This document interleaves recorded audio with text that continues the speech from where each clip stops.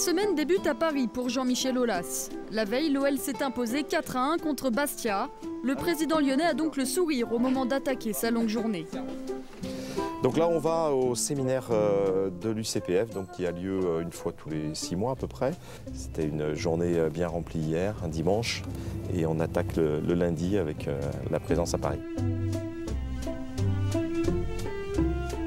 Une journée type, c'est en fait lever 6h30 et on va dire que jusqu'à 23h, je ne suis pas souvent à la maison.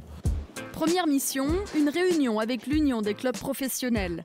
Jean-Michel Aulas, vice-président de l'UCPF, débat avec tous les autres présidents de clubs.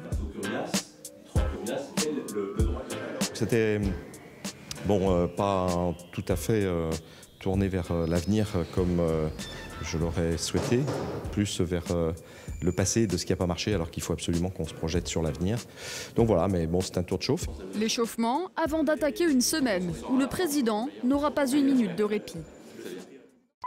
Retour à Lyon, car si Jean-Michel Aulas passe beaucoup de temps à voyager, ses activités principales se concentrent entre Rhône et Saône. Là, donc, on va à l'OL, on a une réunion très, très importante avec le, club deal, le pool bancaire.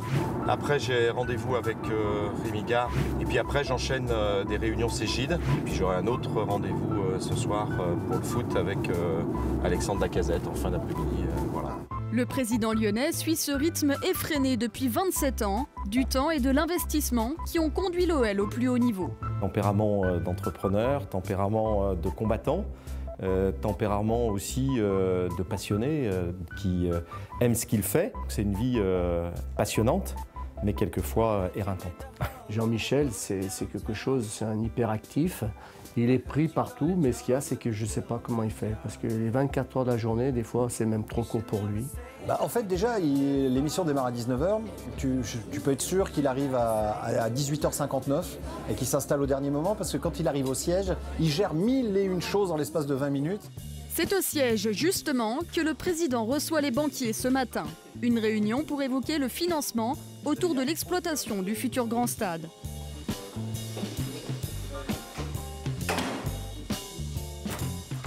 Bienvenue.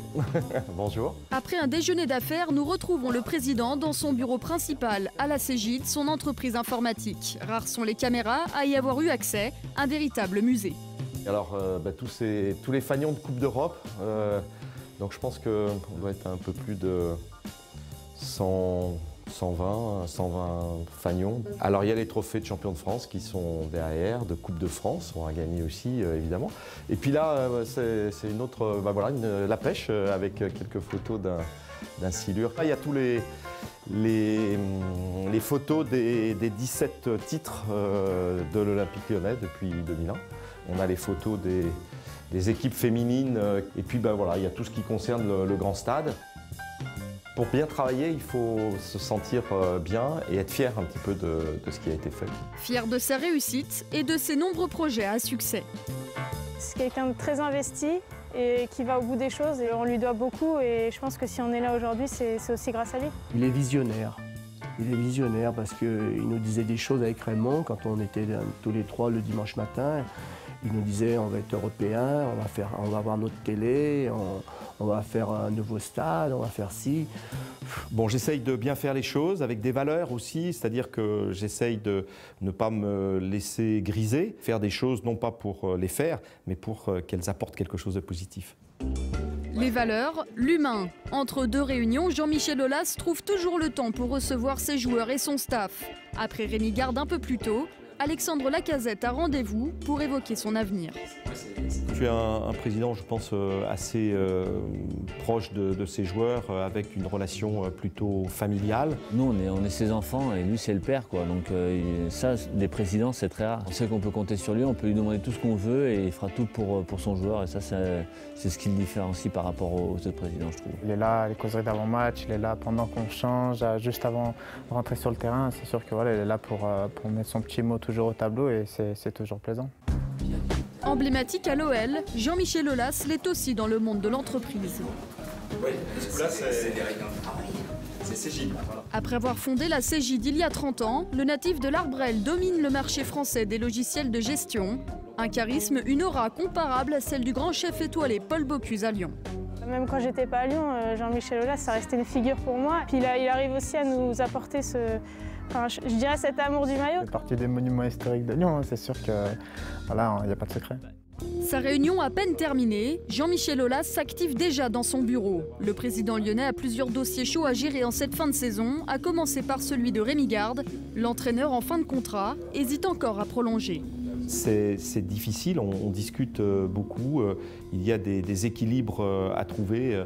En tout cas, qu'il reste ou qu'il continue de participer au développement de, l'Olympique lyonnais sous une forme différente. On peut dire que c'est vraiment un garçon de grande qualité. Parmi les autres dossiers entre les mains du président, celui de Johan Gourcuff, sous contrat encore un an. On garde pour, pour Johan une grande, un grand respect de joueur. Il y a plus de chances qu'il reste qu'il s'en aille compte tenu du fait qu'il a peu joué cette année.